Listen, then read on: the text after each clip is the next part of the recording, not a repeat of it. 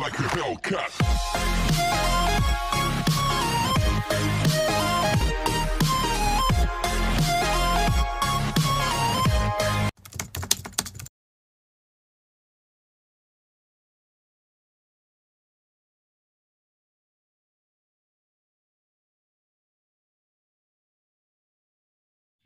Hi guys, this is Carlo Grana and welcome back to my channel and for today's video guys. So, eto na nga. So, dahil GCQ na, so pwede na tayong lumabas. Ay, pwede na pala ikaw lumabas. so, ayan dahil GCQ na, um, pwede na i-transfer yung, um, ano ba tawag? Itong quarantine pass, yun pwede nang i-transfer sa member ng family yung quarantine pass. So, for today's video, so aalamin natin kung ano na ba ang buhay natin after ng ECQ. So, lalabas ako hindi lang para tumambay or magpunta ko saan saan. Um, lalabas ako kasi may bibili din ako mga essential goods like mga sabon, alcohol, and um, syempre, magbabayad din ako ng bill ng kuryente. Magkano bill nyo guys? Kami eh, um, 1.6 yung bill namin. And then, syempre, para protektado tayo sa labas, so nagdala ako ng mga essential din para hindi tayo mahawaan ng COVID. So, meron akong dalawang mask. So, ilalagay ko yung mask ng dalawa sa aking mukha para mas ano double din yung protection niya sa atin. And then kung nakikita niyo dito, meron din akong um, alcohol. And then meron din akong sanitizer. So para ayun din, double protection din. And of course, wag din natin kakalimutan yung ating quarantine pass. So actually hindi sa akin to, sa mami ko ito. And then meron din akong ID na nagpapatunay na anak ako ng aking nanay. so, ayun guys, mamaya babalikan ko kayo. Alamin natin kung ano ba ang nangyari sa labas ng ating bahay. So, babalikan ko kayo mamaya guys. Bye for now. So, ayun guys, kung nakikita nyo nasa tricycle na pala ako. Medyo lubak-lubak lang din sa gambanan. At ang ganda- maganda sa tricycle guys, meron siya plastic cover. So, protected talaga tayo dun sa virus. Ayun, yung plastic cover yung ano, tricycle guys. Siyempre, dala ko na rin lahat ng aking mga gadget. Katulad ng face mask, alcohol at iba pa. Siyempre, quarantine pass din. So guys, mamaya babalikan ko kayo. Bye!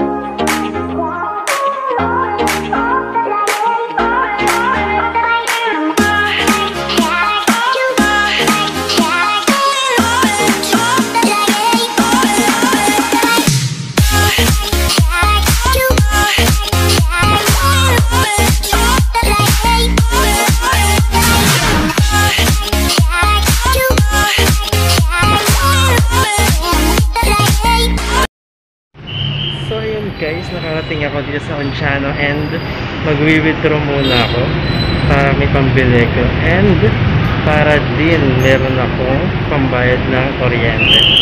So ayan, nakapila pala ako. So waiting lang, syempre, i-apply pa rin natin ang social distancing. So mamaya, balikan ko kayo mamaya. Bye! Guys, kung makikita niyo parang normal lang talaga daming sasakyan na dito sa Antipolo City. So, ayan. Marami pa sa unahan ko. Gusto nyo makita guys, traffic lang eh. Wait lang. Ah. so, ayun yung sasabi ko sa inyo guys, sa sobrang nag-traffic na. At parang hindi naman hindi naman normal na ito. So, dapat di ba may social distancing para like yung mga sakyan and yung mga tao sa paligid. So, ayan guys. Although naka-face mask naman sila, so um, good pa rin. But, hindi pa rin tayo sure kung, di ba, kasi virus, di naman natin sila nakikita. So, ayan guys, so traffic dito banda sa may Shopway sa Antipolo. So, ayan guys, buti lang may um, plastic cover dito. So, ayan. So, papunta naman kami sa... Saan tayo pupunta? So, pupunta kami sa hypermarket kasi doon ako magbabayad ng bills and bibili rin ako ng mga essential goods like yung mga sabon and alcohol and sana may alcohol. So, ayan guys, sobrang traffic.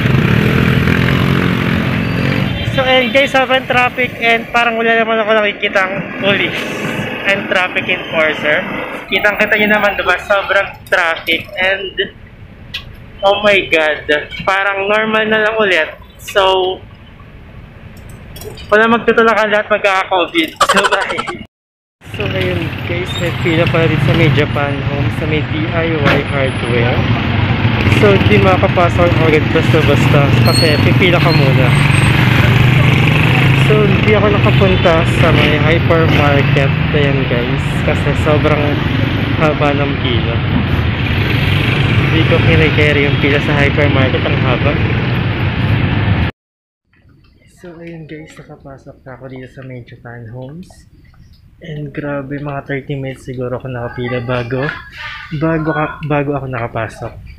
So, hinahanap ko dito yung kitchenware. So, balikan ko lang kayo guys mamaya kapag tapos na ako mabili dito sa may Japanos. So, bye for now. Ayun guys, tapos na ako pabili sa may Japan Homes and nandito naman ako sa may hypermarket. Bibili lang ako ng sabon. Sabon na naman yung bibiling ko. And alcohol kung may makikita. Sige na, bye na. Hypermarket and bibili nga pala ako ng sabon. Sabon ko, kasi wala na akong sabon and pilihan ko rin kung may alcohol. Ang napansin ko lang is, mas maraming tao dito compare sa Japan Homes. Sa Japan Homes kasi, ah, hindi gaano yung tao. Mas konti pinapasok. Dito mas marami. Ayan. So, may social distancing pa rin naman. Siyempre, bibili ka ng eto, facial wipes. Na lagi ako, na lagi kong dala. And then, bibili ako ng sabon ko. So, mamaya lang guys, balikan ko lang kayo. Kaya tapos na ako bumili. So, ayun guys, tapos na ako mamili sa hypermarket in Japan Homes. So, titingin muna ako ng cellphone case ng aking cellphone kasi sira na siya. So, ayun guys. Ayun lang. Parang medyo kayo lumabas kasi nakakatakot pa rin kasi hindi natin sure yung virus is ano dito pa rin naman sa ating paligid so hindi lang siya nakikita. So, ano lang, ingat lang tayo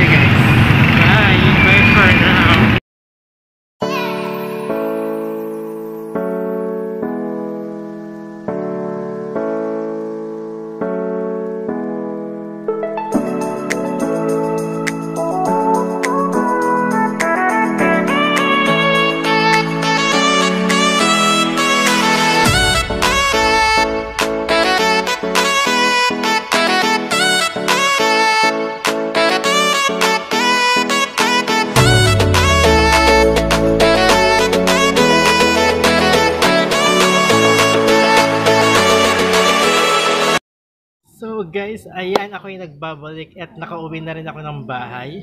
And ito nga pala yung napabili ko guys. So ayan.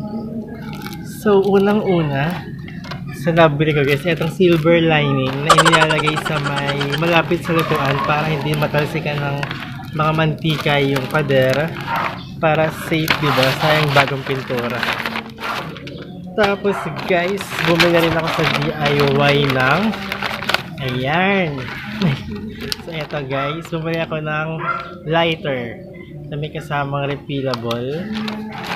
Siyempre, 60, si- ito 69 pesos tapos yung silver lining at is 88. So dahil di ka lang na, di ka lang lang ang aming pinaglutuan, wala kaming gas stove. Baka naman. Tapos ayan, bumili ka sa 7-Eleven ng whitening soap. So hindi ko muna papakita kasi ito yung re-review ko guys. So hintayin nyo kung paano ako pumuti. And then, guys, ito naman, yung mga binili ko sa may hypermarket. So, unahin natin dito sa may pinakorat. So, sino ka dyan? Pinakarat? Charot. so, ayan. Kasi mahilig ako sa suka, guys. And then, bumili rin pala ako, guys, ng Del Monte ketchup. Yung, ano ba, tomato ketchup. Kasi mahilig din ako sa ketchup. And then, mer meron namang mga toyo suka sa bahay at patis. So, hindi, hindi na ako bumili kasi meron naman doon. So, bumili rin ako ng facial tissue. And then, green tea. Yan, Tesco green tea. So, pwede rin ilagay sa mukha after nyo inumin ng green tea. Tapos, guys, syempre, Dove. Ayan. Yung sa mga body care. Share ko rin yung guys. So, bumili rin ako ng Alcogel. Yan sa hyper din to pero bench yung ano, hand sanitizer naman yan. So bumili rin ako ng safeguard, yan, protection for my family. Siyempre bumili rin ako ng cotton pad na round. Maubos na rin yung cotton pad ko pero marami pa rin siya kasi 100 pieces siya.